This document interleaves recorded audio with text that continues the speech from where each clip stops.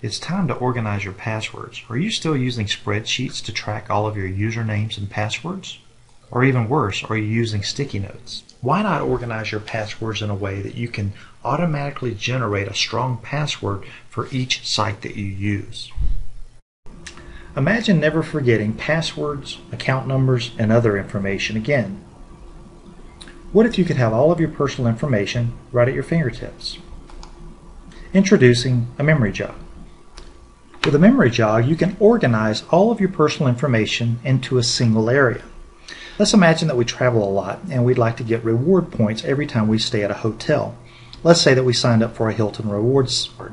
It'd be nice to put that information into aMemoryJog so that we could retrieve it again later. So let's do that. We'll come here and click Add. We'll then enter a new category. This is Hilton Rewards, so we'll enter that in. If we'd like to generate a password for the website, we can easily do that by clicking the padlock. We'd like to add additional custom fields, we can do that by clicking Add More Fields. Now we'll never forget our Hilton Rewards number again. We can also access the website by simply clicking the link here.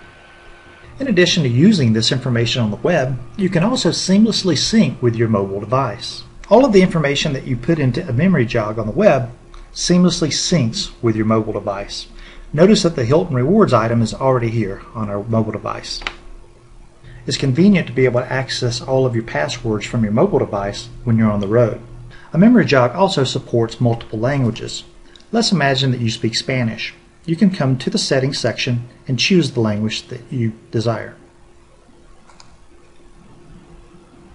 All of the information kept in aMemoryJog is safe and sound. It's backed by 256-bit AES encryption. That's the same as what the banks use. All of your personal information right at your fingertips aMemoryJog. To create your free account today, go out to www.amemoryjog.com.